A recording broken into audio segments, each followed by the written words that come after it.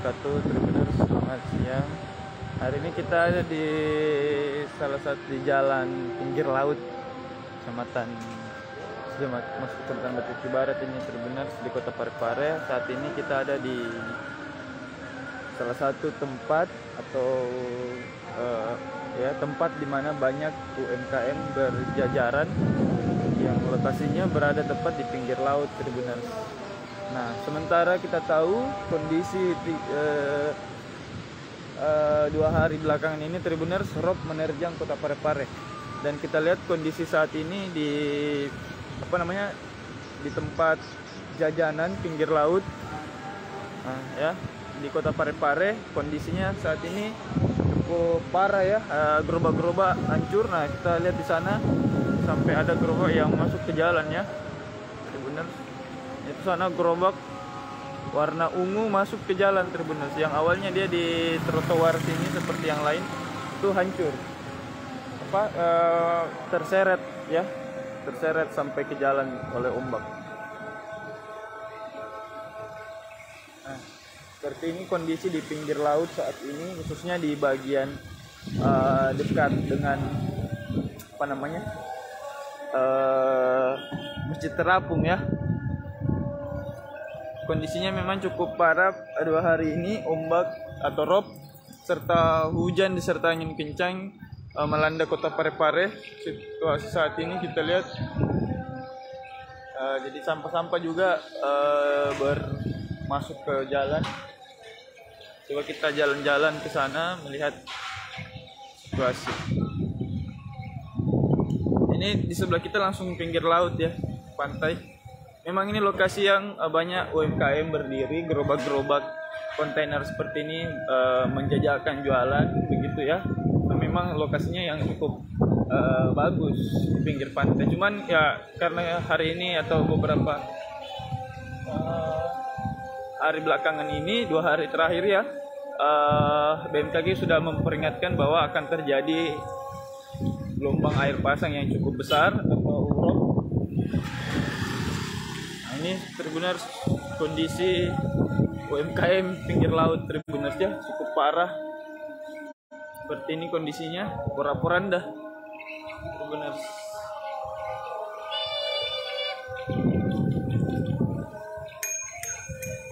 Ini Tribuners di sana ada UMKM apa namanya gerobak yang sampai turun ke jalan begitu Tribuners. Semua gerobak. Praktis memang eh, dari yang jalan yang di yang di sini tuh lebih parah ya karena langsung bersampingan dengan eh, pinggir laut di mana kemudian eh, rob sampai ke sudah sampai ke sini malah. Rumah-rumah warga juga kotor diterjang. Nih Tribuners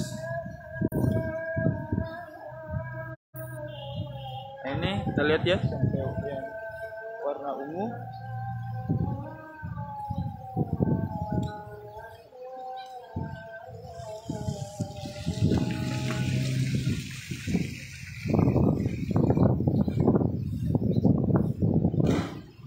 Ini kita lihat ya. Eh, penjual nasi kuning kok dong. Nah ini gerobak nasi kuning itu sampai masuk ke jalan tribuners ya. Saking eh, derasnya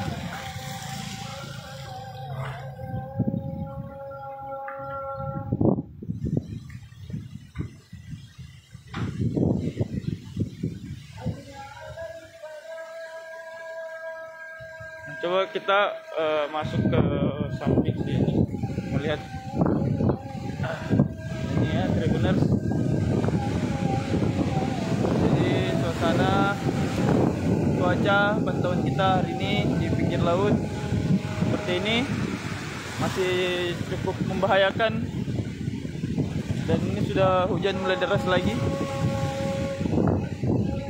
Sepertinya saya akan berteduh sedikit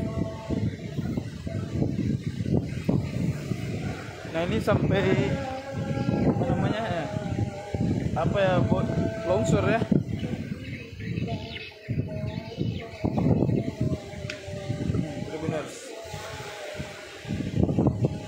Jalan apa namanya trotoar sampai jebol jadi memang cukup parah ini dampak daripada cuaca buruk ini. Rob khususnya.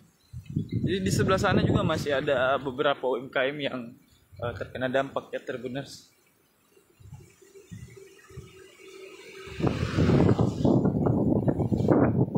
kencang bahaya ya. Saya akan bergeser karena cuaca mulai tidak bersahabat lagi.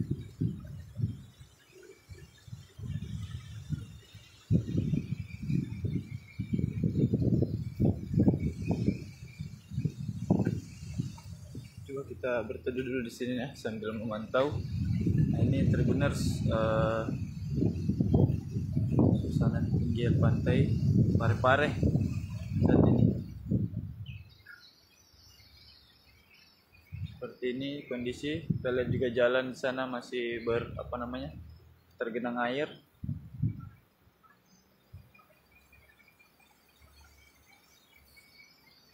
Nah, sini kalau kita lihat juga ada masih ada listrik ini ya. Bahaya juga ini.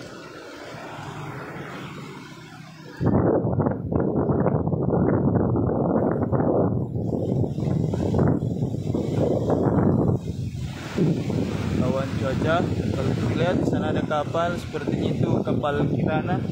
Yang malam. Yang kemarin tidak jadi berangkat sepertinya memutuskan berangkat uh, lepas apa namanya bertolak ya dari pelabuhan Baru menuju Balikpapan. Dan kayaknya itu sana Balikpapan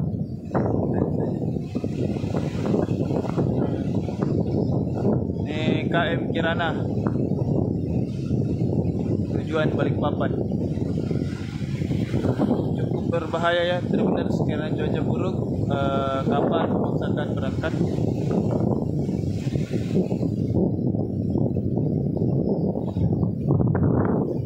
Ini ada warga lokal. Juga memantau-mantau cuaca. Kalau kita lihat ya ini semua sampah-sampah semuanya terbawa ke